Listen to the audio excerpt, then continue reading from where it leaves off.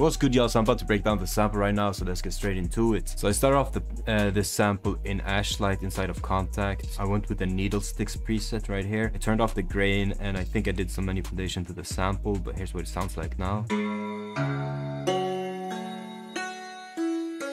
kind of like an ethnic stringed instrument, something like that. It says here, right here, Santoor. I don't know what instrument that is, but it sounds pretty crazy. Anyway, so I made a super simple melody with it.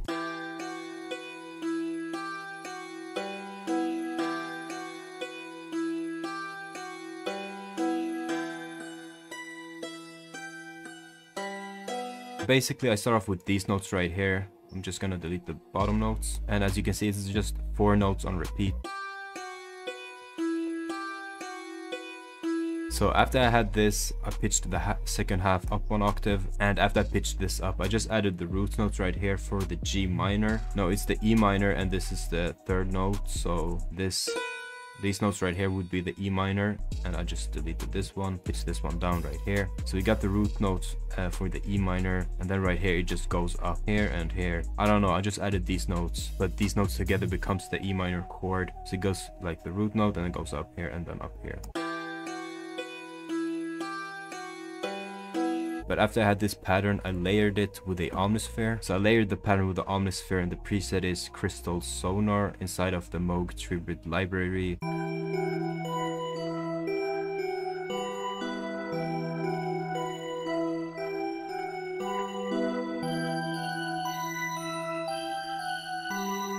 So we got the Kontakt right here and we got the Omnisphere right here, same pattern, and I routed both of them to mixer channel 1. So I start off with an EQ, after that I added a delay tape. This preset right here, I've been using this way too much bro, I gotta chill on this preset. I added a reverb from Arturia with the chorus plate preset, and then I added a soothe to clean the sample up a little bit. I went to the start flat preset, I just turned up the depth a lot to 6.9 right here, turned up the sharpness and the selectivity right here. After the soothe, I went into to sound shifter and I pitched down down the sample six semitones. And finally I added another EQ to take out more of the high frequencies right here. And finally after the EQ I added a portal as well the Finesse preset inside of the Distra 2 bank. So after I had both of the Kontakt and the Omnisphere being ran through the effects chain I exported it to audio and now it sounds like this.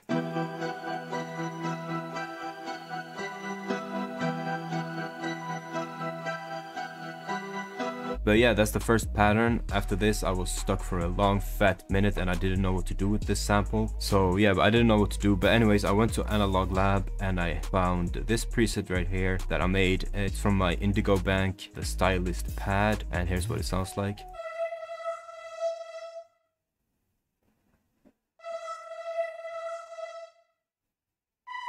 Yeah so super simple pattern just following the root notes right here with the E and then going up seven semitones here at the end to the B which is the fifth of the chord. The effects I added on the pad was uh, a little bit of panning to the right, a little bit of stereo separation and an EQ boost in here and taking out a lot of the lows. After that, I added a bass, which is a one-shot bass. Okay, FL Studio is tripping right now, so I can't find out which one-shot kit I got this from. But it's a bass.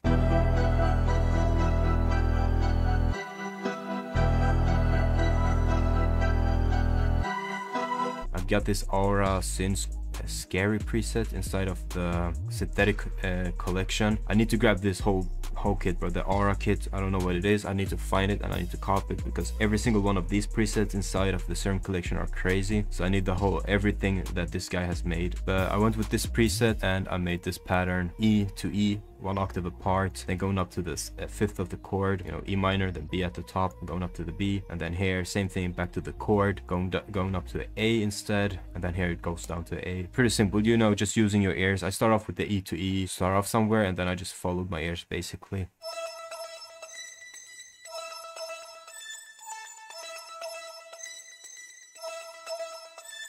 The effects I added on that was just an EQ right here, took out the highs, the lows, and a reverb uh, with these settings right here. So now that I had the serum element in the loop, I wanted to add another serum element. So I went back to serum again and I went with the lead future inside of the alpha sound kit right here.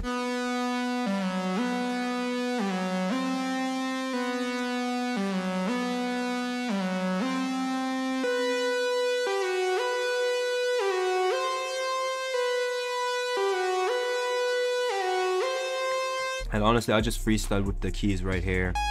I tried to find a nice rhythm and some notes that went well together. Some half steps here, half steps here, some half steps here usually works when you're making lead melodies that you want to like sound kind of evil. So the processing on this uh, lead is just an EQ right here. Took out the highs here because it was pretty harsh up here. And then a reverb, Valhalla Vintage Verb with these settings right here. But yeah, that's all the patterns to the sample. Arrangement is pretty simple as you can see. I got all the sounds in the beginning, then in the second part I just took out the lead and then for the final part I just took out the serum as well so get a little more like chill chill part going on here with not so many harsh sounds. But yeah that's it. Then I took this uh, wave file right here with the stems and routed it to mixer channel 16 I added a soothe just to clean it up a little bit more. And uh, yeah here's the final product